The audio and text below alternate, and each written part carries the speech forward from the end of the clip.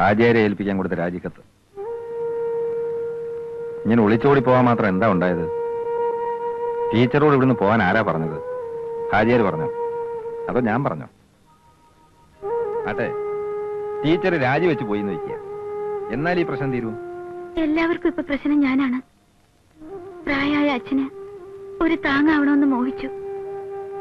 സ്വന്തം കാലിൽ നിന്ന് കുടുംബത്തിനൊരു തണലാകണമെന്ന് ആഗ്രഹിച്ചു. ഈ ഒരു തെറ്റല്ലേ ഞാൻ ചെയ്തുള്ളൂ? അത് തെറ്റാണെന്ന് ആരെങ്കിലും പറഞ്ഞു? ഒരു തൊഴിലിനു വേണ്ടി മാത്രം അറബി പഠിച്ച അന്തർജനമല്ല ഗായത്രി. എതിർപ്പുകളെ അതിജീവിച്ച ആദർശധീരതയുടെ ഒരു കണ്ണിയാണ്. സ്വന്തം സമുദായത്തിനും അതോടൊപ്പം മറ്റുള്ളവർക്കും ഇത്തിരി വെളിച്ചം കിട്ടാൻ സ്വത്തും കുലമഹിമയും ആഠ്യത്വവും എല്ലാം ആഹൂതി ചെയ്ത ആളാണ് ഗായത്രിയുടെ അച്ഛൻ. ആ അച്ഛന്റെ മകൾ ഇപ്പൊ ഇങ്ങനൊരു പ്രശ്നത്തിൽ തളരരുത്. എന്താ സർ? എല്ലാം അറിഞ്ഞിട്ട് ഇങ്ങനെയൊക്കെ പറയണത്? ഞാൻ എത്ര സഹിച്ചു? ക്ഷമിച്ചു. കാണും ഇനി വയ്യ. ആദർശധീരതയുടെ പേരിൽ ഒരു ജോലി ഇട്ടെറിഞ്ഞിട്ട് പോന്നവനാ ഞാൻ. പക്ഷേ എനിക്ക് പറയാനുള്ളത് ഗായത്രി ഈ ജോലി തുടരണമെന്നാ. ഇതിലൊക്കെ ഇത്ര തലപോകഞ്ഞ് ആലോചിക്കാൻ എന്താ ഉള്ളത് മേന്നെ?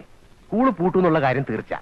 അങ്ങനെ പൂട്ടിയാൽ മറ്റൊരു മാനേജ്മെന്റ് അത് ഏൽപ്പിക്കാതിരിക്കാൻ വിദ്യാഭ്യാസ വകുപ്പിനാവില്ല. അവിടെയാണ് മേനോൻ കയറി കളിക്കേണ്ടത്. അത് മനസ്സിലായി. ആയല്ലോ ഈ സ്കൂളിന് വേണ്ടി തുടക്കത്തിലെ നിങ്ങളും കുറെ ശ്രമിച്ചതല്ലേ? പല അടവും പയറ്റി നോക്കിയതല്ലേ? എന്നിട്ട് എന്തേ ആചാര സ്കൂൾ കൊണ്ടുപോയി നിങ്ങൾ മേലോട്ട് നോക്കിയെന്ന് അത് പക്ഷേ അന്ന് ചേലക്കാടൻ എന്റെ കൂടെ നിൽക്കാത്തോണ്ടല്ലേ അത് അന്നത്തെ രാഷ്ട്രീയം. മേന്നെ രാഷ്ട്രീയത്തിൽ സ്ഥിരം ശത്രുക്കളുമില്ല മിത്രങ്ങളുമില്ല അതിരിക്കട്ടെ മേന്നെന്ത് തീരുമാനിച്ചു? എനിക്ക് തീരുമാനിക്കാൻ വിഷമമൊന്നുമില്ല. ഇപ്പൊ ഒരു പിടിപിടിച്ച നല്ല പുഷ്പം പോലെ സ്കൂൾ നമ്മുടെ കയ്യിലിരിക്കും. ഇന്നത്തെ കാലത്ത് സ്കൂൾ മാനേജ്മെന്റ് കിട്ടാന്ന് വെച്ചാ അതൊക്കെ എനിക്കറിയാം. എന്നെങ്കിലും ഹാജിയാരെ ഒന്ന് ഇരുത്തണമെന്ന് ഞാൻ ഏറെ മോഹിച്ചിട്ടുള്ളതാ. ആണല്ലോ. എങ്കിലിനി ഒട്ടും അമാന്തിക്കണ്ട. അതിനു വേണ്ടി വരുന്ന നഷ്ടം ഒരു നഷ്ടമല്ല. അഥവാ അങ്ങനെ നഷ്ടം വന്നാലും അത് സഹിക്കാൻ ഇന്ന് എനിക്ക് കഴിവുണ്ട്. ഞാൻ രണ്ടും കൽപ്പിച്ചിറങ്ങിയാലുണ്ടല്ലോ ദേ ഇതാണ് ആണുങ്ങളുടെ ഭാഷ. തറവാടി എന്നും തറവാടി തന്നെ. അപ്പോ ഇനി നമുക്ക് ആ വഴിക്ക് അങ്ങോട്ട് കളിക്കാം. അല്ലേ കളിക്കാം. പക്ഷേ ചേലക്കാടൻ എന്നോടൊപ്പം നിൽക്കണം. എന്തത്ര സംശയം? പക്ഷെ ഒരു കാര്യം. മേനു ആ വിചാരം വേണേ. സ്കൂളിലെ പ്രശ്നമൊക്കെ തീർന്നോ മൂസ? സ്കൂളിൽ എന്ത് പ്രശ്നം? നാട്ടുകാർക്കല്ല പ്രശ്നം? പഠിച്ചോ സാധിച്ചിട്ട് സ്കൂളിൽ ഒരു പ്രശ്നമില്ല ആ. ആദ്യം തന്നെ ഓണർ നമ്മൾ തന്നെ പെയ്യോളും നായരെ. ഒരു മുറുക്കാനോട്ട് എടുക്ക. ഈ കാക്കി തുണിക്കൊക്കെ ഇപ്പൊ എന്താണ് വില? എന്തേ വാരത് പോലീസ് ചേർന്നു? ഈ പോലീസുകാർക്ക് മാത്രമേ കാക്കിത്തുണി ഉപയോഗിക്കാൻ പാടുള്ളൂ. എന്ന് വല്ല നിയമമുണ്ടോ? അപ്പൊ പിന്നെ വല്ല വാച്ച്മാന്റെ ജോലി തരായിട്ടുണ്ടാവും വാച്ച്മാൻ അല്ലടോ ഇത് പിയൂണിന്റെ പിയൂണോ? എവിടെ? അപ്പൊ താൻ ഈ കഥയൊന്നും അറിഞ്ഞില്ലേ? ഇല്ല. മേനോൻ ഇവിടുത്തെ സ്കൂൾ നടത്താൻ തീരുമാനിച്ചിരിക്കുക അങ്ങനെ മേനോൻ സ്കൂൾ നടത്തണമെങ്കിൽ അവിടുത്തെ പിയൂൺ ആരാ? ഈ വാര് ഇവിടുത്തെ സ്കൂൾ മേനോൻ നടത്തേ. ആരാ അത് പറഞ്ഞേ? എടോ ഇതൊക്കെ ആരെങ്കിലും പറഞ്ഞിട്ട് വേണോ? കാര്യങ്ങളൊക്കെ ഇത്രയായ സ്ഥിതിക്ക് നമുക്കവിടെ ഊഹിക്കാൻ പാടില്ലേ? ആ, ലോകപ്പ് അവസാനിക്കും. ഞാനും എന്റെ കെട്ടോളും ഒരു തട്ടാനും മാത്രം ബാക്കിയായാൽ മതിയെന്നും കരുതി ചിലരൊക്കെ നടക്കാൻ തുടങ്ങിയിട്ട് കാലം കുറെ അതിന്റെ പരമുകാരെ ആ പരപ്പ് ഇവിടെ വേഗം പോകുന്നില്ല. വേവും എങ്ങനെ? നല്ല തേക്കിന്റെ വറുകെട്ട് നല്ലോണം കത്തിച്ച ഏത് വേവാത്ത പരിപ്പും വേവും. എന്നിട്ട് ആ പരിപ്പിൽ നെയ്യൊഴിച്ച് നല്ലോണം കുഴച്ച് മഷ്ടാനായിട്ട് ഉണ്ണ ഉണ്ണാനും കരുതി ഇല ഇട്ടിരിക്കലേ ഉണ്ടാവുള്ളൂ എന്റെ പരമുകാരെ കാണാൻ പോണ പൂരം എന്തിനാ പറഞ്ഞത് പൂരം വരട്ടെ അന്നേരം കാണാം. കാണാം കാണാം ഓ, കാണാൻ പോണോ ഓ. നമ്മുടെ കുട്ടികളെ നാലക്ഷരം പഠിപ്പിക്കുന്നതിന് എന്തിനാ ജാതിയും മതവും തടസ്സമാവുന്നത്? ആർക്കും ആരെയും പഠിപ്പിക്കാം. ആരുടെ കീഴിലും പഠിക്കാം. അക്ഷരാഭ്യാസത്തിന് വർഗവും മതവും ഒന്നുമില്ല.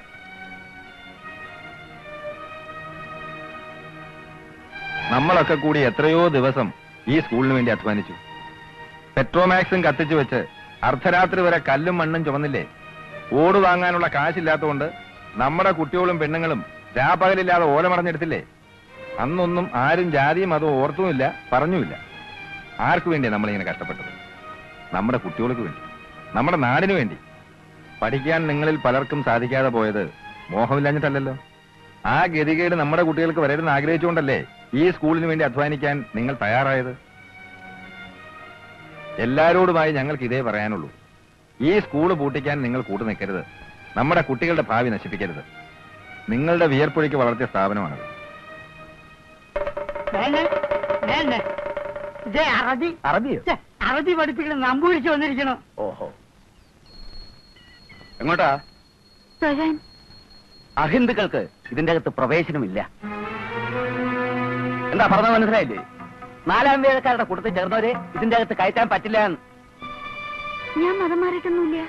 എങ്ങനെയാ വിശ്വസിക്കുക? മേച്ചഭാഷയല്ലേ പഠിപ്പിക്കണേ? മേത്തന്മാരുടെ വീട്ടിൽ താമസവും. അങ്ങനെയുള്ളവർ ഇതിനകത്ത് കയറിയ ക്ഷേത്രം അശുദ്ധാവില്ലെന്ന് ആരും ഉള്ളൂ. ചിലപ്പോ ഭഗവാൻ ഇവിടുന്ന് ഇറങ്ങി പോയെന്നും വരും. ഇത് വിശ്വാസികളായ ഹിന്ദുക്കൾക്ക് തൊഴാനുള്ള സ്ഥലമാണ്. ഇതിനകം അശുദ്ധമാക്കാൻ സമ്മതിക്കില്ല. ആരായി ഹിന്ദു? ഏത് പുരാണത്തിലാ ഹിന്ദു എന്ന് പറഞ്ഞിട്ടുള്ളത്? മഹാഭാരതത്തിലോ? രാമായണത്തിലോ? അതോ ഉപനിഷത്തുകളിലോ? ഏത് ഗ്രന്ഥത്തിലാ ഹിന്ദു എന്ന് എഴുതിയിട്ടുള്ളത്? നാമൊക്കെ മനുഷ്യരാണെന്നല്ലാതെ നമ്മളൊക്കെ ഹിന്ദുക്കളാണെന്നോ? നമ്മുടെ മതം ഹിന്ദുമതമാണെന്നോ? വ്യാസനോ വാൽമീകിയോ ഋഷിമാരോ ഉപനിഷത്ത് ആചാര്യന്മാരോ ആരെങ്കിലും പറഞ്ഞിട്ടുണ്ടോ മേന്നെ?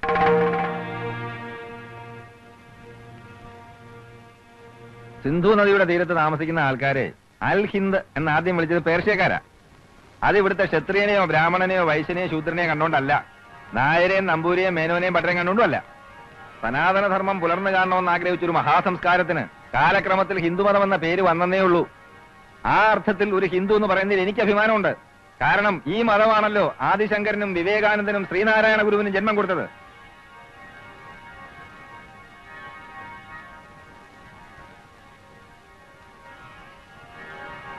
ജീവിക്കാൻ വേണ്ടി ഒരു ഭാഷ പഠിച്ചുകൊണ്ട് ഹിന്ദുത്വമാകെ തകരുമെന്ന് പറയാനും ഒരു മുസൽമാന്റെ വീട്ടിൽ താമസിച്ചുകൊണ്ട് വിശ്വാസമാകെ അശുദ്ധമാകുമെന്ന് പറയാനും ഈശ്വരനെ കൂട്ടുപിടിക്കണ്ട. ഈശ്വരൻ അങ്ങനെ ഏതെങ്കിലും ഒരു സ്ഥലത്ത് സ്ഥിരമായി വീട് കെട്ടി താമസിക്കുന്ന ആളുമല്ല. ചെറുപ്പം മുതലേ ശീലിച്ചു പോയതുകൊണ്ടും വിശ്വസിച്ചു പോയതുകൊണ്ടാണ് ഈ കുട്ടി ഇവിടെ വന്നത്. മനസ്സ് തുറന്നൊന്ന് പ്രാർത്ഥിക്കാൻ ഒന്ന് തൊഴാൻ. അല്ലാതെ ഭണ്ഡാരപ്പെട്ടിയിലെ കാണിക്കയുടെ പങ്കുവറ്റാനല്ല അമ്പലവസ്തുക്കൾ കട്ടുമുടിക്കാനും അല്ല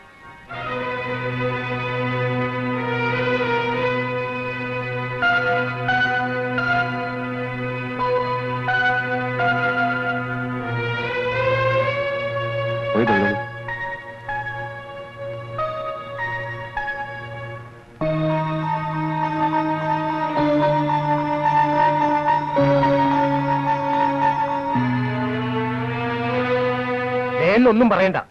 ആലോചിച്ച് ആലോചിച്ച് കണ്ടുപിടിച്ചൊരു സൂത്രം.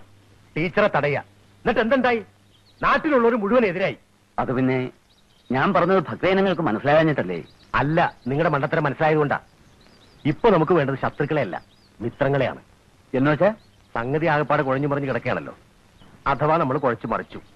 ഇക്കാരണത്താൽ അവർ ടീച്ചറെ സ്കൂളിൽ നിന്ന് പുറത്താക്കും. പുറത്താക്കണം. കണ്ണീരും കൈയുമായി ടീച്ചർ പെരുവഴിയിൽ ഇറങ്ങുന്നു. നിരാലംബയായ നിസ്സഹായായ ഒരു പെൺകുട്ടി സഹികെട്ടിറങ്ങിത്തിരിക്കുമ്പോ ആ സാധു പെൺകിടാവിന്റെ രക്ഷാപുരുഷനായി മാറുന്നു മേനോൻ. ഞാൻ അതെ. വേണ്ടി വന്നാൽ മേനോൻ ടീച്ചർക്ക് വേണ്ടി ഒരു പ്രക്ഷോഭം തന്നെ നയിക്കുന്നു. അങ്ങനെ ആയാൽ പൊതുജനം കൂട്ടത്തോടെ നിങ്ങളുടെ കൂടെ ആവും. പിന്നെ നിങ്ങൾ തെളിക്കുന്ന വഴിയിലൂടെ അവർ നടക്കൂ. മേലിന്റെ ടെക്നിക്ക് മനസ്സിലായോ? അതൊരു ഉഗ്രൻ ഐഡിയ ആണല്ലോ. ഒറ്റ വെടി. ഹാജിയാരെയും ശേഖരനെ കൊടുക്കാം ആ പിന്നൊരു കാര്യം. ഇതൊരു ധർമ്മയുദ്ധമൊന്നുമല്ല. മർമ്മം നോക്കി അടിക്കുക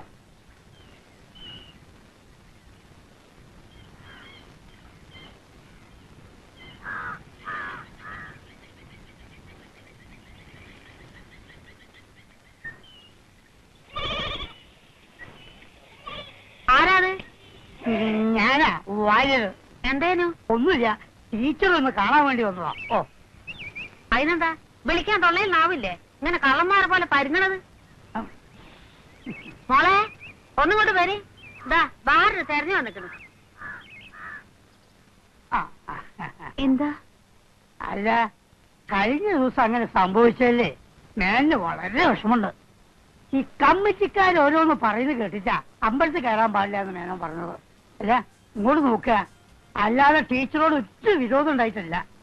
പിന്നെ ഞാൻ മേനോനോട് കമ്മിറ്റിക്കാരോടൊക്കെ പറഞ്ഞ് നല്ലോണം അവിടെ പൂജ്യപ്പെടുത്തി നിങ്ങളോ? ഏ, അല്ല ശേഖരൻ മാഷ് പറഞ്ഞതിലും കാര്യമുണ്ടെന്ന് പറഞ്ഞു ബോധ്യപ്പെടുത്തി. ഇപ്പൊ കമ്മിറ്റിക്കാരുടെ മാത്രമല്ല ഈ നാട്ടിലെ നമ്മൾ ആൾക്കാരുടെ കംപ്ലീറ്റ് സപ്പോർട്ടും ടീച്ചർക്ക് തരാൻ തീരുമാനിച്ചിരിക്കുക. അതും മാത്രമല്ല. ഉം. ടീച്ചർക്ക് ഇവിടെ താമസിക്കാൻ ബുദ്ധിമുട്ടുണ്ട് എന്നുള്ളതും എനിക്കറിയാം. ഞാനിങ്ങനെ പറഞ്ഞില്ലല്ലോ. ഇതൊക്കെ ആരെങ്കിലും പറഞ്ഞിട്ട് വേണം? നമുക്ക് ഊഹിക്കാൻ പാടില്ലേ? ഇവിടെ ഈ മീന്റെ നാറ്റോ ഈ ആട്ടിൻകാട്ടയച്ചോ അങ്ങനെ അങ്ങനെ അങ്ങനെ ഒത്തുപോവാൻ വളരെ ബുദ്ധിമുട്ടുണ്ടെന്ന് എനിക്ക് നന്നായി അറിയാം. നമ്മുടെ മേനോന്റെ വീട്ടിൽ താമസിക്കാനുള്ള എല്ലാ സൗകര്യങ്ങളും ഉണ്ട് ടീച്ചർ ഇപ്പം വെറും ടീച്ചറല്ല. നമ്മുടെ സമുദായത്തിന്റെ തന്നെ വേണ്ട. എന്നെ അങ്ങനെ സമുദായത്തിന്റെ ആരും ആക്കണ്ട. എവിടെ താമസിക്കണമെന്ന് തീരുമാനിക്കാനുള്ള അവകാശങ്ങൾ എനിക്ക് വിട്ടാരെ. നിങ്ങളോടൊക്കെ ഞാൻ എന്ത് തെറ്റാ ചെയ്ത്? ഉപകാരം ചെയ്തില്ലെങ്കിലും ദയവായി ഉപദ്രവിക്കരുത്.